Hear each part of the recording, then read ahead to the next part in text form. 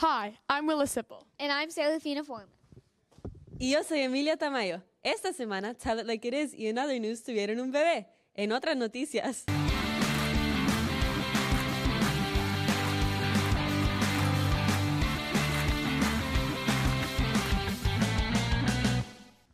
This week, Holyoke City Auditorium hosted Senator Elizabeth Warren for a town hall. Senator Warren spoke about accountability in the Trump administration and how she's fighting for Massachusetts families and the Senate. Entrevistamos a la gente allá sobre temas relevantes a los jóvenes. Soy organizadora aquí en Holyoke para Elizabeth Warren y los uh, demócratas de Massachusetts. Gracias. Bueno, ¿y por qué es importante un evento así para la comunidad? Uh, porque es muy importante para que la comunidad sepa quién está representando a nosotros, mujeres y, latinos y, y, miembros de, de esta ciudad y, y, el Estado completo. Y Elizabeth Warren es esa persona y es muy importante que por lo menos conozcan y que sepan que lo que es muy importante para ella es representarnos lo más que pueda. I think this event is really important for the community because it's a way to bring the people of Holyoke um, and Western Mass together and support a really awesome cause.